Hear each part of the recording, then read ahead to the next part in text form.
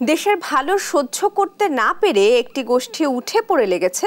নানা ষড়যন্ত্র করছে বলে মন্তব্য করেছেন প্রধানমন্ত্রী শেখ হাসিনা।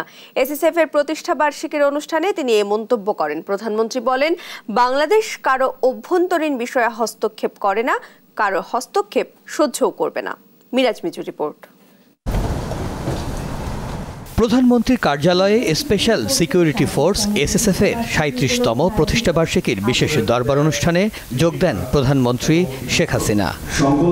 সম্পাদন করেছেন বিশেষ এ বাহিনীর উন্নয়নে সরকারের গৃহীত নানা পদক্ষেপ তুলে ধরেন সরকার প্রধান। প্রযুক্তি ব্যবহার আজকে যেমন আমাদের স্বপ্ন দুয়ার খুলে দিয়েছে, সেই সাথে সাথে অনেক শঙ্কাও সৃষ্টি করেছে। অর্থাৎ আমি মনে করি যে সন্ত্রাস, জঙ্গিবাদ এর ধরনও পাল্টে যাচ্ছে। এসএসএফের সক্ষমতা বৃদ্ধিতে ইতিমধ্যে আমরা অত্যাধুনিক সরঞ্জাম সংযোজন করা হয়েছে, যা এই বাহিনীর দক্ষতা আরও বৃদ্ধি করেছে। শেখ হাসিনা বলেন, বিগত সরকারের সময়েও বিশ্বব্যাংক অভিযোগের আঙুল তুলেছিল। নিজেদের দুর্বলতা ছিল বলেই তারা প্রতিবাদ করতে পারেনি। পদ্মা সেতু নির্মাণের সময় তার দুর্নীতির অভিযোগ তুলে যখন আমাদের উপর দোষারোপ করল, আমি তার প্রতিবাদ করেছিলাম। কারণ আমার কোনো দুর্বলতা ছিল না। আগের সরকার পারেনি, কারণ তাদের দুর্বলতা ছিল। তার সত্যিই দুর্নীতি করেছিল। কিন্তু আমরা তো দুর্নীতি করতে আসিনি, আমি মানুষের ভাগ্য করতে এসেছি। আমি একটা কথা বলতে পারি, এই একটা ঘটনায় কিন্তু আন্তর্জাতিকভাবে বাংলাদেশে ভাবমূর্তির পরিবর্তন হয়েছে। দেশের ভালো একটি গোষ্ঠী সহ্য হচ্ছে না বলেও মন্তব্য করেন সরকার প্রধান।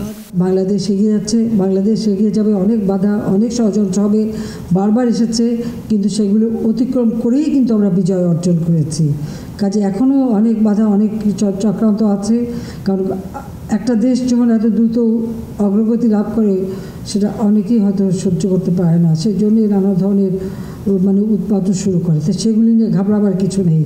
সবসময় আত্মবিশ্বাস নিয়ে চলতে হবে, আত্মমর্যাদা বোধ নিয়ে চলতে হবে। স্বাধীন জাতি আমরা, বিজয়ী জাতি আমরা, সে বিজয়ী হিসেবে মাথা উঁচু করে বিশ্ব দরবারে আমরা চলবো। কারও খবরদারির কাছে বাংলাদেশ মাথা নত করবে না বলেও জানান প্রধানমন্ত্রী। কারও কারও খবরদারির কাছে নতজনেও আমরা হব না। এটাই আমাদের সিদ্ধান্ত। মিরাজ মিজু দেশ টিভি ঢাকা। অপশক্তি সহ দেশ